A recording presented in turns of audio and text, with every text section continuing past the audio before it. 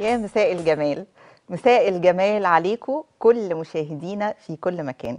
مساء الجمال عليكي عزيزتي المرأة في العالم كله. مساء الجمال عليكي الست المصرية الصبرة رمز المحبة والخير والسلام من آلاف السنين. مساء الخير عليكم خلينا نبدأ النهاردة الحلقة بتاعتنا آه، بخبر مهم جدا.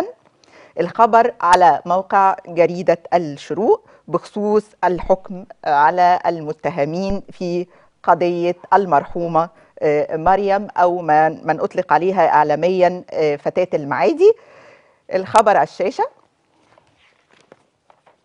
الخبر بيقول إنه آه، تمت بحمد الله يعني إحالة أوراق المتهمين الرئيسيين في هذه القضية إلى فضيلة المفتي. والحكم 30 ديسمبر. آه، حقيقي الخبر ده بيحسس كل بنت وكل ست مصرية إن حقها مش هيروح. في ظل أمن وأمان الدولة المصرية وقضائها العادل وشعبها الأصيل.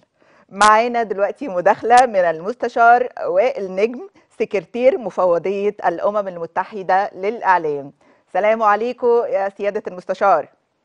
عليكم السلام ورحمة الله وبركاته. ازي أهلا بحضرتك. آه، الحكم هو عنوان الحقيقة. آه، حضرتك كرجل قانون إزاي استقبلت حكم محكمة جنايات القاهرة في قضية فتاة المعادي؟ حضرتك شايف انه هذا الحكم إن شاء الله يعني رادع آه، وممكن يبقى آه، يعني ناقوس خطر للمجتمع ولاي شاب أو أو أي مجرم يعني آه، يحاول إن هو يعمل حادثة مشابهة للي حصلت؟ خليني أقول لحضرتك الأول إن أنا بمس عليك وعلى ضيوفك وعلى مشاهدينك الكرام. أهلا بيك. عايز أقول لحضرتك إن الحكم ده يعتبر سريع جدا. وهو الأسرع في السنوات اللي هي الأخيرة ديت. أيوه. آه، القضية اولا أخذت حقها اعلاميا واتحولت إلى قضية رأي عام. خليني أقول لحضرتك إن الإعلام يعتبر هو المفتاح السحري لجميع القضايا الموجودة في مصر. آه، الإعلام له دور محوري في إنه ينفذ الاستراتيجيه القوميه بتاعت السكان. آه، إحنا كنا محتاجين يبقى في نظرة سريعة أكتر لكن الحكم ده يعتبر آه، سريع جدا. قضية شغلت الرأي العام آه، الفترة اللي فاتت. آه، كان في مطالبات آه، بإصدار حكم رادع ينصف الفتاة ويردع من تسول له نفسه ارتكاب مثل هذه الجرائم. خليني أقول لحضرتك إن طبعا هذا الحكم لن يعيد الحياة مرة أخرى لوالديها أو لأسرتها لأن الأزمة كانت كبيرة جدا لما راحت فيها هذه الفتاة. طبعا.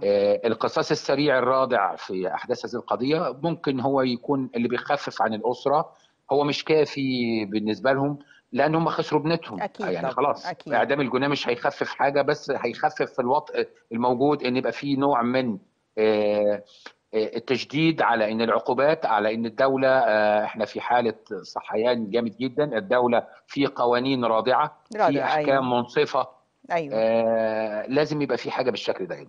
طب بشكل عام يا يا سيادة المستشار إزاي القانون يحمي المرأة من كل أشكال العنف بمعنى الست لو اتعرضت لأي شكل من أشكال العنف ممكن تعمل إيه؟ خليني أقول لحضرتك إن أي حد سواء رجل أو مرأة أو ابنة أو صغير أو كهل أو أو أو ما إلى ذلك من حقه إنه عندما يتعرض لأي نوع من الإيذاء النفسي أو التنمر أو البدني أو ما إلى ذلك إنه يتوجه إلى أقرب قسم شرطة متواجد فيه ويبلغ. طبعا الحاجات ديت أصبحت بتاخد وضع أكبر من إن أنت مثلا يبقى في نوع حد يتعدى على فتاه في الشارع إن طبعا المصريين عندهم نخوة بيبتدوا ياخدوا إجراءاتهم ال- ال- الموجودة إما إن هم بيقفوا بجانب الفتاة أو بجانب من يتم التنمر عليه كل ذلك- لحضرتك سيادة المستشار يعني ممكن يتوجهوا لأي آه، آه، مركز مثلا للشرطي أو أو يعني طبعا آه، طبعا طبعا آه، طبعا آه. خلي بال. حضرتك إحنا عايزين نتكلم إن إحنا عندنا أي أي إجراء بيتم التعامل عليه في قوانين بترضع الكلام ده كله. أيوه. آه، خلي بال حضرتك برضو إن اقتصادنا محتاج تحفيز إن إحنا نفعل قوانيننا اللي موجودة. الأمان عشان أي إجراء الأمان. بيبقى كافي صح. بس إحنا لما نيجي نتكلم عن آه، تفعيل القوانين إحنا عندنا القوانين موجودة عندنا سير من التشريعات كثيرة جدا. أيوه. نحتاج إلى تفعيل القوانين آه نحتاج إلى تفعيل مثل هذه القوانين.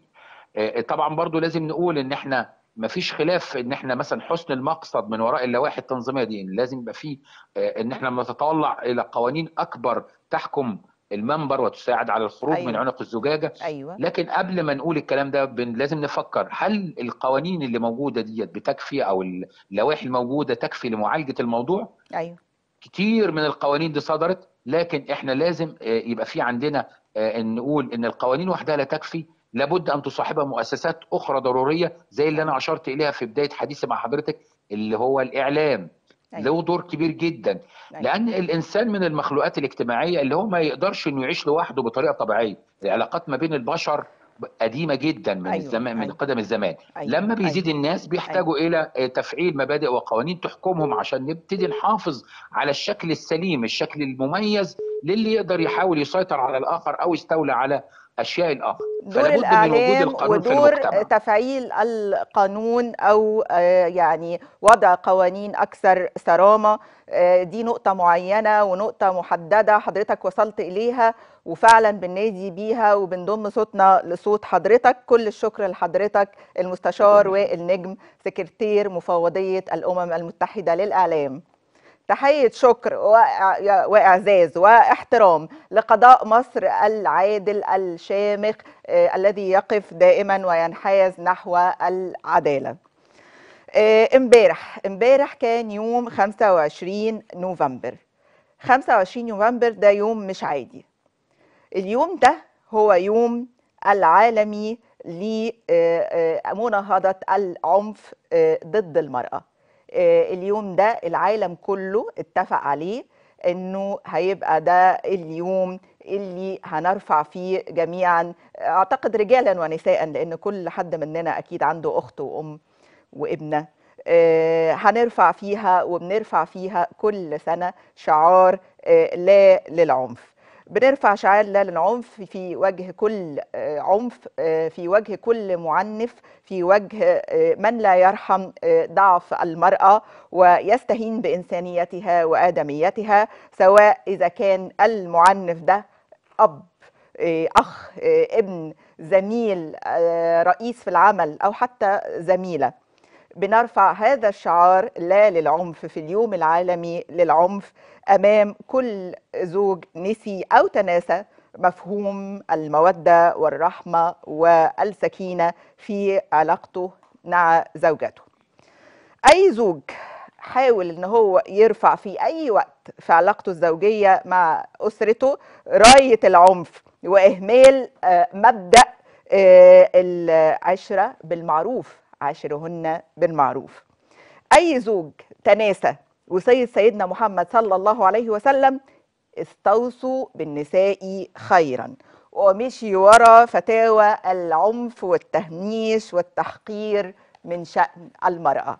يوم 25 يناير من كل عام يوم آه، 25 نوفمبر من كل عام هو يوم بيتأكد فيه في كل نساء العالم بيؤكدوا للجميع مطالبهم المشروعة لوقف أي انتهاكات سواء جسدية آه، لفظية أي نوع من أنواع الانتهاكات أي نوع من أنواع العنف ممكن يأذيها آه، يهينها ينتقص من حقها.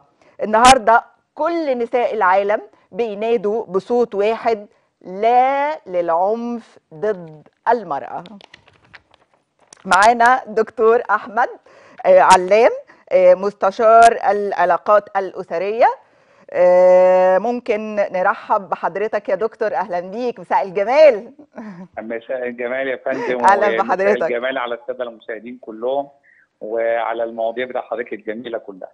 للأسف يا دكتور الإحصائيات كلها بتقول إنه أغلب العنف الأسري بيكون موجه للمرأة آه، سواء آه، يعني زوجة طبعا ده الأغلبية العظمى والنصيب الأعظم يعني أو آه، ابنة أو أخت.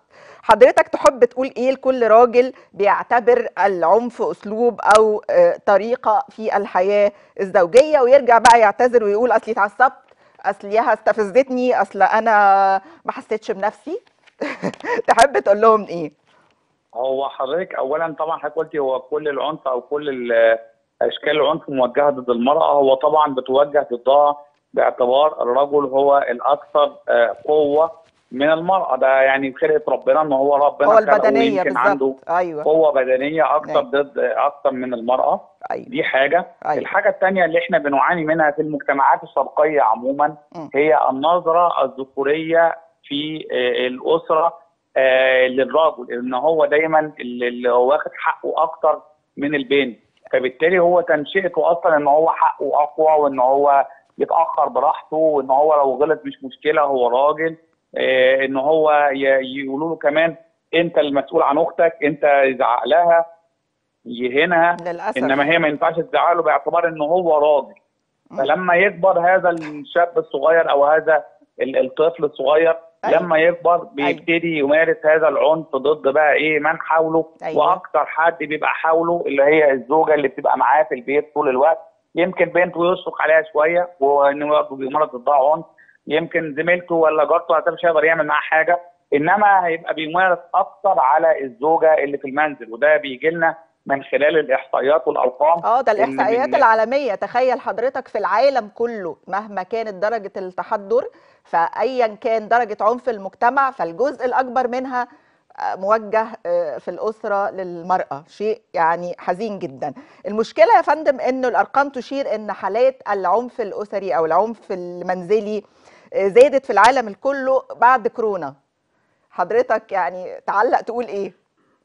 آه هو طبعا حاجة حاجة غريبة جدا إن إحنا طالبنا بكتير جدا كانت ال- الرجل والمراه بيطالبوا بتواجدهم مع بعض فترات أطول.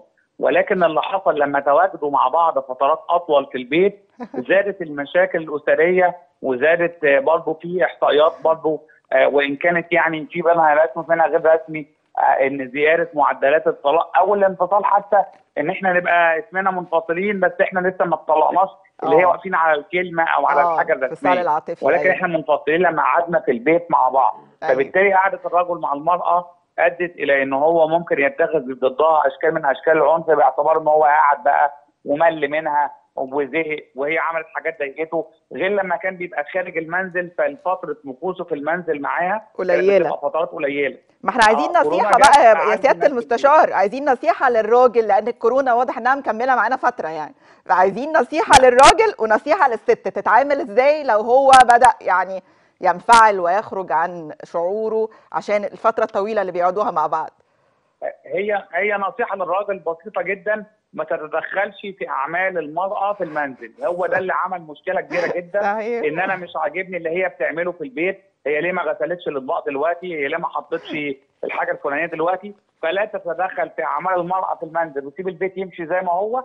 أنت كده هتبقى هت... يعني هنقلل جزء كبير من المشاكل. ده بالنسبة للرجل. بالنسبة للمرأة اللي. بتواجه آه، آه، يعني عنف. من. زوجها أنا بطالبها بإن هي. ما تسكتش على هذا العنف. اولا هي توفر جو جميل وجو ملائم ومناخ صحي في البيت أيوة. علشان الزوج ما ما يبقاش ما, ما يبقاش عنده يعني. تتجاهل يا دكتور ولا تطول بالها ولا تاخد حقها ولا تعمل إيه بالظبط لا أنا مش هقول تاخد حقها بإن هي تضرب وإن هي تعمل لا الكلام ده كله طبعا. إنما تلجأ على طول عندها حل من الاثنين تاخد موقف حازم لو سمحت ما تمدش إيدك عليا ولو مديت إيدك عليا أنا هتاخد ضدك حاجة تبتدي تلجأ أول حاجة نقول تلجأ لها الحد اللي يكون عنده سيطرة شوية على الرجل لو كان هو والده لو كان هو والدها لو كان هو حد من الأسرة حكيم تبتدي تقول له إن أنا هقول إن أنت بتعمل كذا أو كذا هبتدي إن أنا أمتنع عن بعض الأمور اللي أنا كنت بعملها لك بصبر رحب أنا ببتدي أمتنع عنها بعد كده الأسرة تحذير كمان يا. دكتور يعني الأب بقى والأم اللي هم يبقوا جد وجدة الأولاد سواء من طرف الأب أو من طرف الأم أظن برضو ده دورهم ووقتهم بقى إن هم يتدخلوا علشان ينصحوا في مثل هذه الأوقات. ممكن يتدخلوا إزاي من غير ما يحصل حرج أو من غير ما يحصل زعل من الزوجة من أهل جوزها أو من الزوج آه، من أسرة آه، زوجته؟ يعني ممكن طريقة التدخل معلش بقى إحنا بنتقل على حضرتك ممكن تبقى إزاي يعني؟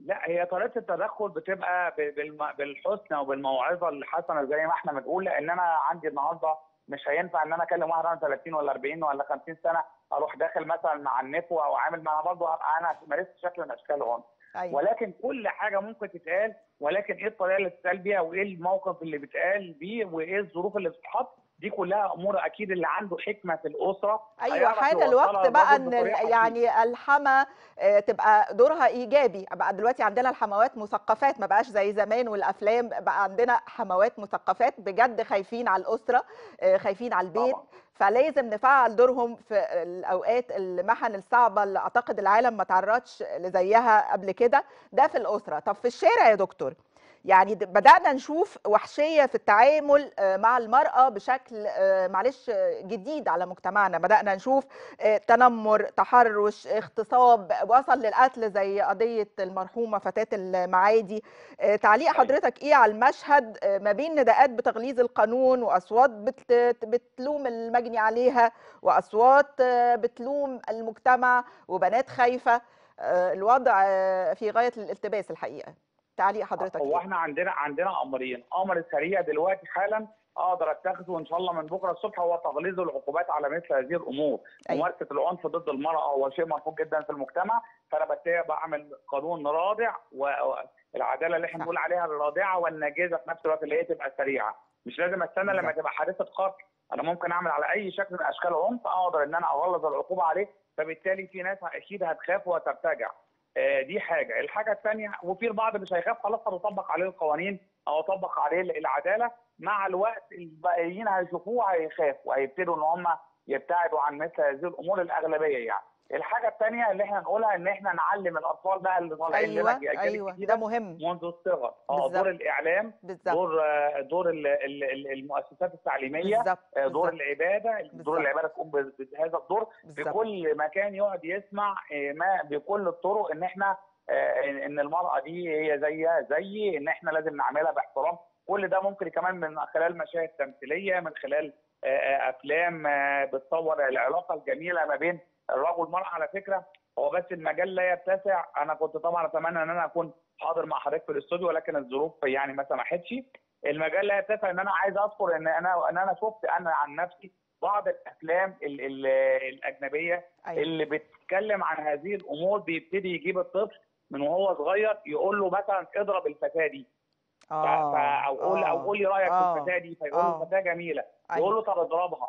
آه. فهنا يشوف رد فعله هيضربها ولا مش هيضربها. طب لو هو ما ضربهاش يقول طب انت ما ضربتهاش ليه فيبتدي يغرس في جواه آه آه، الوعي ان هو مش محفوظ ان. هو يضربها بالظبط ليه لانها. هي لأن هي لأن الراجل الراجل راجل فما ينفعش يضرب شوفي حضرتك بقى كلمة أيوه إن أنا أيوه عشان راجل وكنا زمان. كده على فكرة كان يعني الموروث الثقافي عندنا آه، في فترات طويلة إنه الرجولة إن أنا ما مدش إيدي على واحدة ست إن الرجولة إن أنا ما اخدش ما أخدش حياء واحدة ست ماشية في الشارع أو أوجه آه لها طبعاً. إساءة أو نظرة طب الراجل بقى اللي بينتهج ال- ال- ال- العنف ضد امرأة آه. أو فتاة أو أو يعني أنثى تمر في الشارع بكلمة بنظرة أصل التحرش ممكن يبقى بنظرة مش بس بكلمة حضرتك بتشوف ده راجل كامل ولا منتقص آه، لا بعض طبعاً، ده الأخلاق؟ أنا ه- لا طبعا ده أنا هضرب ده أنا هضرب مثل يعني ممكن ناس بقى تقول لك إحنا هنتاسى بالأديان السماوية ده أنا هضرب مثل بحد اسمه أبو جهل شوف حضرتك بقى ده في